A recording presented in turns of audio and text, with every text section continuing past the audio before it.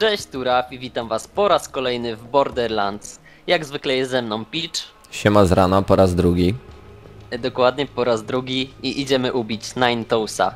Tak jest, dzisiaj zajmiemy się misją, która będzie polegała na dostaniu się do Skaguli. Uuu, gości mamy. I'm out of ammo. A, Właśnie, może warto kupić amunicji trochę przed wyjściem do niego, co? wiesz co, to jest dobry pomysł. Kupmy najpierw sobie. Okej, okay, grenade'y. Full. I jeszcze wezmę sobie repeatera. Dobra. Jako, Eee. jako, że mam czwarty level, mogę sobie dzisiaj już zapiąć moją snajpereczkę. Yy, mam sporo tutaj pistolecików, nawet shotguna mam jednego. Ale wolę sobie snajpereczkę wziąć mimo wszystko, gdyż jak wiecie uwielbiam snajpereczki. Dobrze, jeszcze tylko spojrzę ile mam amunicji do snajpery full. Niewiele, ale full. Okej. Także wybieramy się powoli w stronę przejścia do Skaguli. E, I cóż, i cóż, i w międzyczasie mam taki fajny mały pomysł, mianowicie podpytać Ciebie, Raf, e, o parę spraw. Przede wszystkim skąd pomysł nagrywania na YouTube. Wow. Myślę, że to będzie dosyć tradycyjna odpowiedź, bo wiele osób tak odpowiada, tak mi się przynajmniej wydaje. Ja wiesz, kiedyś zacząłem oglądać, y, myślę, że JJ jako pierwszego i tak zupełnie nieświadomie, jeszcze nie wiedziałem, że po prostu jest wiele osób, które tak kręcą, które nagrywają. Tylko tak sobie po prostu wszedłem, zobaczyłem, że są takie filmiki z, z gier, y, zacząłem oglądać. y, Zainteresowało mnie to, potem zobaczyłem, że jeszcze jest CTSG, że są jak, ja- jakieś inne osoby, które to nagrywają. Spodobało mi się to. I po pewnym czasie tam załatwiłem sobie nowego laptopa i stwierdziłem, że, że oprócz grania to nagrywanie samo w sobie może dawać dodatkowy fan, no nie? I że to jest znacznie ciekawsze. Samo granie jest fajne, ale nagrywanie, z, granie z komentarzem musi być jeszcze fajniejsze i, i właśnie to mnie zmotywowało do nagrywania. No, wiesz co, ja Ci powiem, że po tylu filmach, które ja nagrałem na YouTube do tej pory, y, dla mnie granie bez nagrywania jest trochę takie właśnie puste, trochę czegoś tu brakuje. No, ja, ja już nawet zaczynam to mieć tak jak jak e, gram to nawet sobie myślę, jak gram samemu to sobie myślę co bym mówił normalnie wiesz do widzów gdybym, gdybym nagrywał, więc czasami mi, mi brakuje jeżeli gram bez nagrywania, no ale wiadomo nie można też cały czas nagrywać, no nie? No pewnie. Słuchaj, a ja mam jeszcze do ciebie jedno fajne pytanko, mianowicie jak wyglądało twoje pierwsze zabranie się za nagrywanie? w sumie to nie było tak dawno, bo to było jakieś dwa miesiące temu, czy tam dwa i pół miesiąca temu. Więc jeszcze pamiętasz. E, tak, jeszcze pamiętam. E, nagrałem Alana Wake'a pierwszy, pierwszy odcinek I, i było po prostu tragicznie. Ja się tak denerwowałem, że nie, nie wiedziałem co mam mówić, nie wiedziałem o co chodzi w ogóle i, no i, i było dosyć słabo. Ale już powiem ci, że tak przy trzecim, czwartym filmiku przestałem się denerwować i, i było już całkiem w porządku. No dobrze, zrobimy teraz malutką przerwę na fajną eksplozję. Uuu, I po eksplozji Barricade Destroyed, czyli możemy się dostać teraz do over here. Nawet Bacha ją usłyszał. Chciałbym mieć takiego dziadka jak on. Plasterkiem na szyi. Okej. Lecimy więc do Skaguli. A, damy sobie radę, nie? Ja z kolei powiem Ci, że y, ja pamiętam również swój pierwszy raz, kiedy ja zabrałem się za nagrywanie i był dosyć śmieszny, dlatego że samo intro, same, samych pierwszych 10 sekund filmu nagrywałem chyba z, nie wiem, ze 100 razy, a trząsłem się przy tym jak, jak, jak osika, jak to się mówi. I nie mogłem, nie mogłem. Samo przywitanie po prostu nagrywałem chyba z godzinę dobrą. I czuć, No. czuć było nawet w moim głosie, że e, że ten, że, że się strasznie stresuje, nie? To naprawdę... No, na- no tak samo w moim ze mną tak było, nie? Że, że się jąkałem i w ogóle. E, Ale to z czasem przychodzi, no, prawda? dokładnie tak. To jest tylko kwestia przyzwyczajenia się do tego. Dokładnie. No. A teraz już dzieł ponad 400 filmów na koncie mam. A ja mam około 70. Troszkę ponad chyba. Człowiek zapomniał już o tych pierwszych razach. No ja, ja mówię, ja świe, świeżo zacząłem nagrywać niedawno, więc ja wszystko pamiętam jeszcze. Ważne jest, żeby robić to, co się lubi robić. No wiadomo, a jeszcze wiesz, połączyć y, i- jedną fajną rzecz z drugą to już w ogóle, no nie? No. Poza tym ja studiuję politologię i, i mam takiego jednego fajnego wykładowcę, który na pewno mnie nie ogląda, ale to tam nie ma znaczenia. E, to jest taki... E, co ty tutaj giniesz? No. E, je- jest taki wykładowca, taki bardzo fajny, który, który często w telewizji się pojawia i w ogóle znany politolog. I on, on właśnie powiedział kiedyś, że żeby płynnie mówić i, i tak wiesz, żeby, by- żeby retorykę ćwiczyć, kurczę teraz ja zginę, żeby ćwiczyć retorykę, trzeba trenować, mówić samemu do siebie, nie? Przed lustrem. Mhm. I, I wiesz, i tak sobie pomyślałem, że takie nagrywanie mo może być właśnie czymś w stylu mówienia do siebie przed lustrem, nie? Bo ja, Dokładnie ja tak. słyszę jak mówię i poprawiam się, to jakoś tam wpływa Ty, na... tylko, tylko, że w tym przypadku akurat y, obok twojego lustra stoi jeszcze kilkaset, a czasami nawet kilkadziesiąt tysięcy ludzi, więc to jest dosyć mocno trudne. Tak, dokładnie.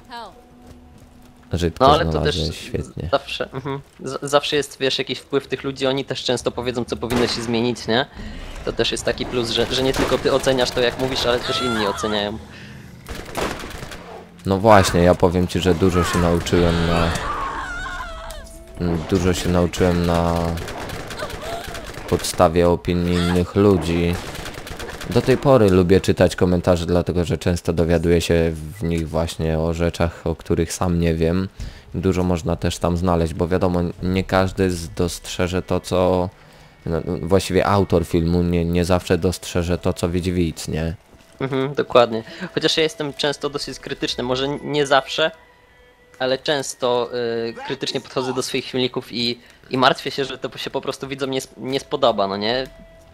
To okazuje się, że się tak nawet spodoba, że ludzie to lubią, tylko po prostu czasami jak oglądam ten filmik, to nie jestem z niego zadowolony, ale później ludzie pozytywnie go odbierają. Wiesz co, ja ci powiem, że właśnie y, takie coś, taki odruch, że spodziewasz się, że ludziom coś się może nie spodobać, to automatycznie motywuje cię do tego, by w następnym filmie jednak y, zrobić jakiś krok do przodu, żeby ten film był jeszcze lepszy niż poprzedni. Dzięki temu właśnie nie stoi się w miejscu i cały czas się trenuje, nie? No wiadomo.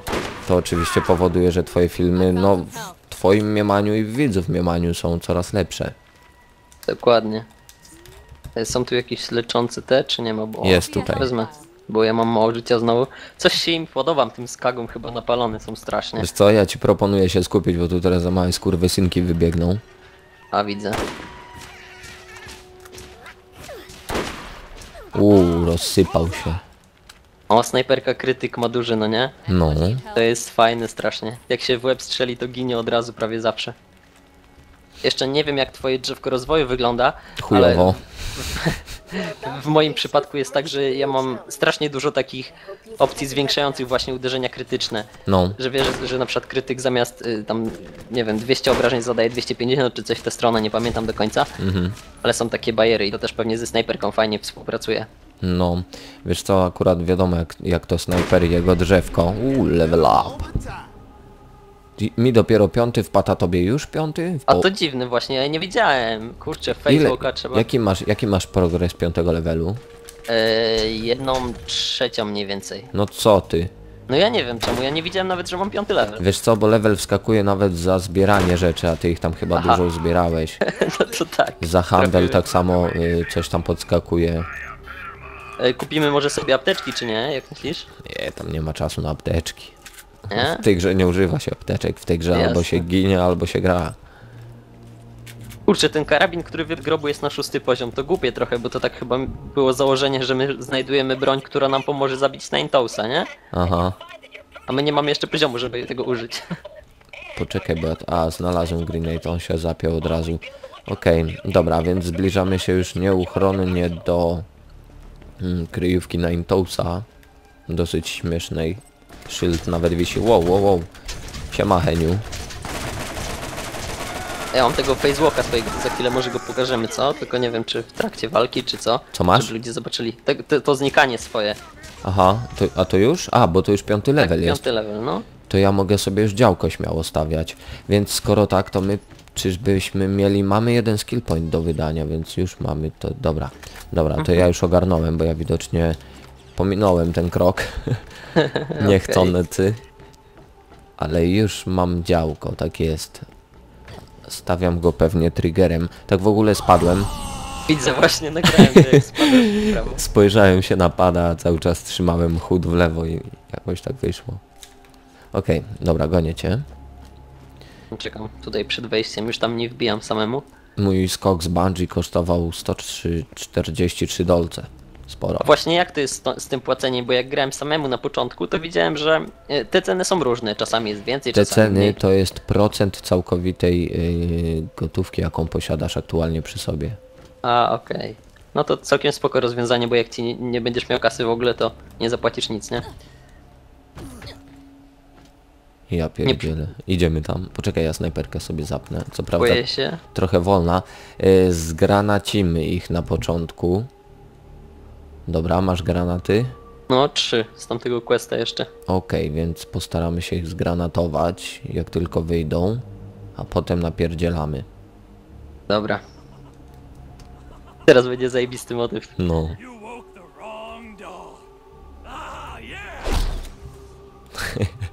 Zajebiste on jest. No. Safety. Widziałeś? On... No właśnie, chciałem to powiedzieć.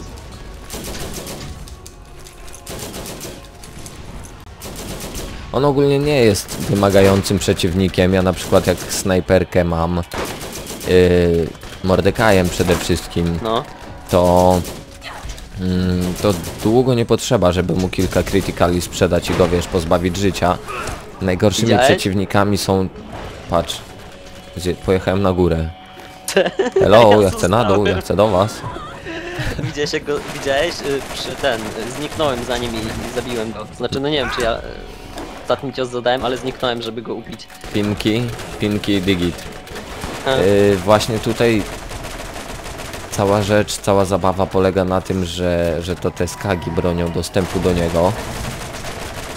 Ale w rzeczywistości nikt chyba nie pomyślał o tym, że te skagi zanim dobiegną, to już zdążymy go zabić. O kurde, teraz ja padam. Jest drugi? Nie żyje drugi? Nie do Pomóż mi. końca. No próbuję. Fuck. A jak się w ogóle rewajwuje, bo jakoś nie, nie, nie Ja kwadratem. A ty chyba F. tego. Okej. Dobra, zostaw go dla mnie. Czekaj, poczekaj. Dobra, second wind, okej. Dobra, kradniemy co popadnie. Wiem, że tam I jest troszkę skrzyneczek w tle. Mission accomplished, ladies and gentlemen. O, mam niebieski pistolet. The Jakąś Clipper. figureczkę? Co to jest? Figureczka to jest gruba kwota pieniążków. A, nie widziałem tego wcześniej, szczerze mówiąc. Dobra, zbieramy wszystko.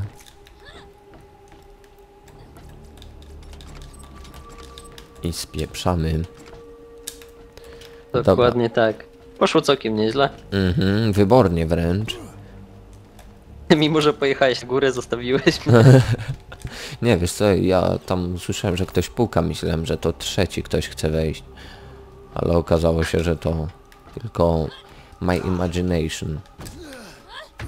Oko. A Ej, pow- tu jeszcze jeden powiedz mi jeszcze, bo interesuje mnie w sumie jedna rzecz. Właściwie nie tyle interesuje, co ciekawi. Y, Ty się zgłaszałeś do Roya, żeby on cię polecił? Mm, Royo ma otwarte odpowiedzi wideo do swoich filmików, żeby ludziom po prostu ułatwić znajdywanie widzów, nie? Wiesz, Aha. żeby do, dotarcie do widzów. Ja po prostu tam wstawiałem filmiki co jakiś czas, żeby, żeby te filmiki gdzieś się pojawiały oprócz na moim kanale. I Royo tak sam z siebie po prostu mnie a polecił. Nawet się nie spodziewałem, po prostu sobie siedzę, a zajebiście. Siema na rapa. Na- Nara. Ja po prostu sobie siedzę, nie? Wchodzę na, na, na maila, a ktoś napisał y, y, Raf Royo cię polecił, a ja czemu mnie polecił? Przecież ja nie chciałem, w ogóle nie, nie prosiłem nikogo, nie? Mhm. Ale tu patrzę, rzeczywiście mnie polecił, widzowie zaczęli wpadać. No to Tak super. bardzo przyjemnie. No. Ja też, wiesz co, ja ci powiem, wcześniej, jeszcze przed Rojem, em, jakoś tak kontakt mieliśmy, nie? No, no, no. I akurat jakoś tak przeglądałem właśnie ten film, który on dodał i zobaczyłem, że cię poleca, nie? No, Mówię, uuu, to zaraz będziesz miał lawinę na koncie. ale widzisz, to, to aż tyle widzów nie dało niestety. No. Ale Wie- wiesz, wiesz, inną moc ma film, kiedy... Powiem ci tak, zresztą ja już o tym chyba wspominałem. Nie wiem właśnie czy na film, przy filmiku, czy, czy w rozmowie ze mną po prostu. No właśnie chyba w rozmowie z tobą. Te No też mi się tak wydaje. polecanie w dzisiejszych czasach nie jest takim polecaniem jakim było kiedyś, że po prostu dostawało się lawinę. E, Wiesz co, darujmy sobie tych skagów może. Dobra. E, biegnijmy od razu do przejścia, chociaż nie wiem, oni już nie żyją? Nie, jeszcze już żyją, dobra. Mm, nie ma takiej mocy jak miało kiedyś, bo wiadomo teraz bardzo dużo kont jest, które proszą się o polecenia, w rzeczywistości nie nadają się na to polecenie. Dlatego ludzie też według mnie są dosyć mocno uczuleni na to.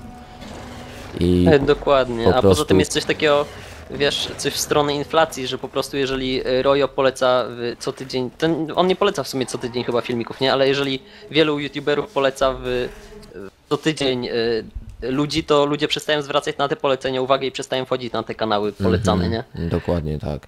Bo kiedyś, kiedy- kiedyś właśnie, wybacz, że ci przerywam, yy, za czasów, kiedy ja zaczynałem, yy, na przykład pamiętam jak CTSG yy, polecił mój kanał, polecił kanał Exploras i jeszcze kogoś, to wtedy nie trzeba było długo czekać. Ludzie mieli na tyle duże zaufanie i to było na tyle świeże to polecanie, że po prostu te, nawet wydaje mi się, że na ślepo, wiesz, y, subskrybowali, bo wiedzieli, że skoro on poleca, to znaczy, że warto jest to zasubskrybować.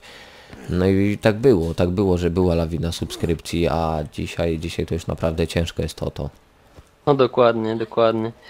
Mm, Zresztą w tym, wiesz, jeszcze polecenie, a nagrywanie z kimś to jest coś innego, nie? Bo y, po, po poleceniu od, y, od niego to y, miałem mniej subskrypcji niż teraz mam od, od nagrywania z tobą, nie? Znaczy odrobinę mniej, bo teraz tam od niego weszło mniej więcej 70 subów czy coś takiego, czy 80, a od ciebie już weszło 80 do tego czasu, jeżeli nie więcej troszkę. No, a jeżeli wiesz- będzie nam dobrze szło, jeżeli będzie fajnie, jeżeli będzie się nam dobrze grało, a widzom świetnie oglądało, to nikt nie powiedział, że zegar subskrypcji będzie stał w miejscu, aczkolwiek, żeby nie było niedomówień, my nie liczymy na subskrypcję, a na dobrą zabawę, zabawę i na zadowolenie widzów. Dokładnie tak, dokładnie tak. Dobrze, oddajmy więc zadanie, zobaczymy ile nam expa wpadnie. A to, to nie do niego chyba, to trzeba do tego, tego Bachy oddać chyba. To dlaczego mi nie powiedziałeś, przecież my tam byliśmy. Ja, ja w ogóle nie myślałem, ja słuchałem co mówisz, wiesz? Ja byłem święcie przekonany, że to Uzeda. Wiesz, to tak jest, nie? Ja, ja czasami na przykład w Battlefield gram i coś mówię i później się okazuje, że ja biegam w kółko i w ogóle nie strzelam, tylko mówię, nie? czasami tak jest. A, we dwóch raźniej, nie ma to, nie ma to jak zdwojona moc. Dokładnie. Też tam czytałem, że ci przeciwnicy są silniejsi niby troszkę, nie? Mają zwiększony poziom trudności. Ale Jak mimo więcej wszystko rozłożony na dwie postaci, to jednak wychodzi na to, że jest lżejszy.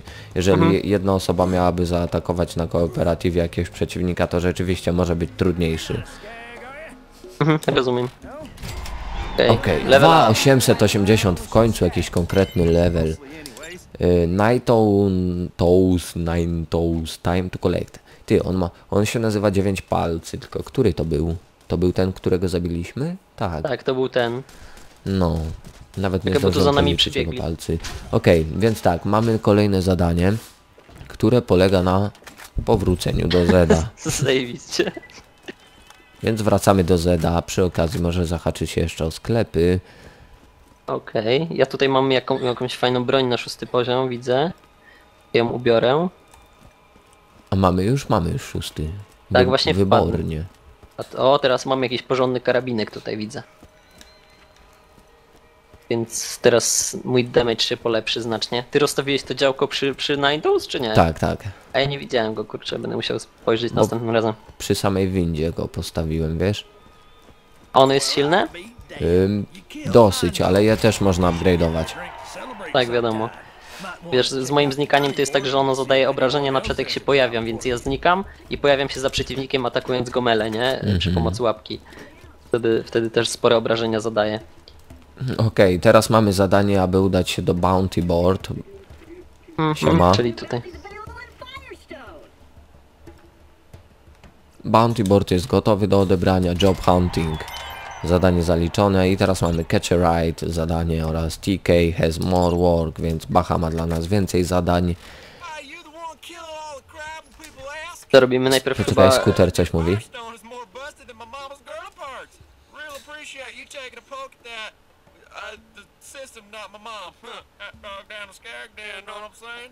you know what I'm saying? On nie jest mniej zakręcony niż Bacha.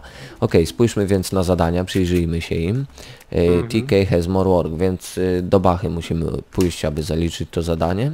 Natomiast Catch a Ride jest to find and use e, the Catch a Ride station outside the Firestone, czyli mamy dwa zadania po kolei, które są bardzo proste, bardzo szybkie. Pierwsze polega na dotarciu do Catch a Ride i odpaleniu, odpaleniu tu zadania będą pewnie, pewnie na 100%. Ej, ja pamiętam, że to jest właśnie to zadanie chyba z zabiciem tego ciężkiego typa, żeby odzyskać e, właśnie... E, Bones Head Theft.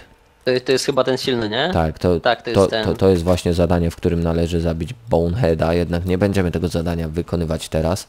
Zanim do niego się wybierzemy, ogarniemy wszystkie zadania w Skaguli, gdyż one pomogą nam zdobyć wyższy level, dzięki czemu będzie się łatwiej walczyło. Wiesz jak ja go zabiłem, bo właśnie miałem z nim problem, a nie miałem chyba wszystkich zadań skończonych. E, I wcześniej go zabiłem w taki sposób, że po prostu wszedłem tam, jest taka górka, schowałem się tam za przeszkodami i e, oni nie mogli do mnie dotrzeć, a ja ich zesnajpiłem wszystkich. No, ja często też tam kampiłem, ale kurka wodna, trudno było. Ja to zawsze na żywioł leciałem. Okej, dobra, co my tu mamy? Dwa zadania od Bachy. By the seat, y, seats of your pants oraz case, life, limp, and limp, sorry. Zadania te są w Skaguli, y, więc y, wydaje mi się, że dobrym pomysłem byłoby zakończenie odcinka dzisiaj. Y, Jasne. Mm, I do Skaguli wybierzemy się w następnym odcinku serii Borderlands. Dokładnie tak. Także żegnamy się z wami dzisiaj, póki co. Liczymy na wasze komentarze przede wszystkim, na tym najbardziej nam zależy. Komentarze jest to, wiadomo, opcja, dzięki której można wywnioskować pewne sprawy, które można poprawić, które należy zachować na odpowiednim poziomie. Ja się zaczynam rozgadywać, a to przecież Raf miał prowadzić tą serię. Dokładnie, zabierasz moją kwestię. No to w takim razie komentujcie. Zresztą zauważyłem, że mamy strasznie pozytywny odzew jak na razie. Wszyscy chcą oglądać, wszyscy chcą jeszcze dodatki obejrzeć i e, drugą serię również. Właśnie e, zapomniałem powiedzieć, nie wiem czy widziałeś komentarz, jeden z użytkowników ci powiedział, żebyś nagrywał grę ninją, ale to ty sam mówiłeś, że chcesz nim grać, więc... Znaczy dru drugą część. Drugą oczywiście. część, Wy- a ja dzisiaj dowiedziałem się, że to jest Zero, on Tak, się on nazywa napisał. Zero, tak jest. Ja będę nim grał, oczywiście, że będę ni- nim grał z przyjemnością. A ja jeszcze nie wiem kim to się dowiem, potem Mhm. jeszcze będę musiał poczytać. Może tą nową babeczką? Oni będą pewnie mieli podobne, podobne, mm, mm, mm, jak to się mówi, skille, skille jak Tak, też mi się tak wydaje. No, dobra, w takim razie kończymy i widzimy się pewnie już w trzecim odcinku, e, trzecim pełnoprawnym odcinku, a to będzie już chyba czwarty, nie? Pierwszy, No tak w zasadzie. Trzeci, no w takim razie do zobaczyska, siema, narapa i ra- za uwagę. Na razie, cześć. Okej. Poczekaj, poczekaj.